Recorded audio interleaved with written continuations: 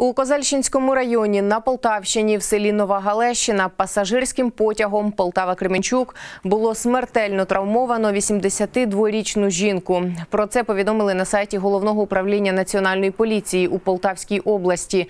Її особу встановлено. Це місцева жителька. Наразі обставинами загибелі займається поліція. Статистику таких смертей на Полтавщині прокоментував Юрій Сулаєв.